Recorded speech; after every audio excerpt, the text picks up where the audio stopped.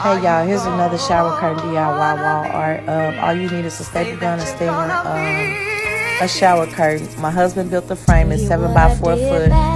Staple it real tight.